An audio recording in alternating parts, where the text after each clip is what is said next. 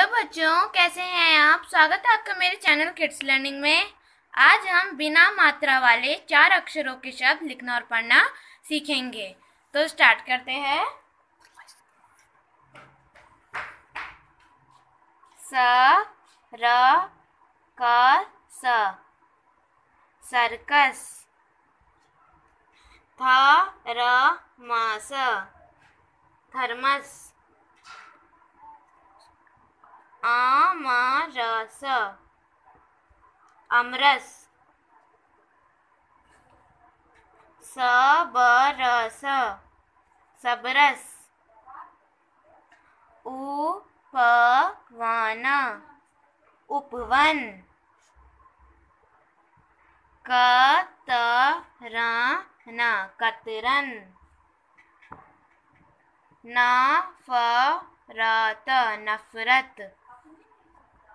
बर गद बरगद अन बन अनबन।